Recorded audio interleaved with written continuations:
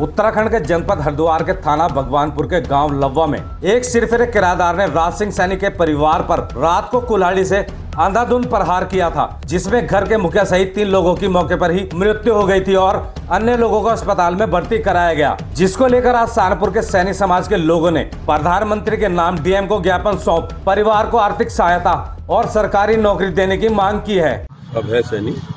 अध्यक्ष सैनी सभा सहारनपुर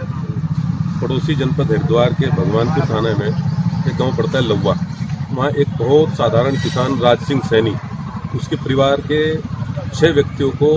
मरणासन कर दिया गया। जिनमें तीन की, उनकी खुद की, उनकी पत्नी की, उनके बेटे की तो दुखद मृत्यु हो चुकी है और उनकी तीन बेटियाँ मरणासन स्थिति में हैं। तो एक ही परिवार के छह व्यक्तियों का दुखद हत्याएँ की गई हैं। इसकी हम सैनी समाज के लोग प्रार्थना करते हैं और अपने आदरणीय प्रधानमंत्री जी से ये मांग करते हैं कि वो पीड़ित परिवार को प्रधानमंत्री राहत कोष से 50 लाख रुपए का तुरंत अनुदान स्वीकार करें और जो तीनों घायल बेटियाँ मरणासन स्थिति में, उनका इलाज सरकारी खर्चे पे किया जाए।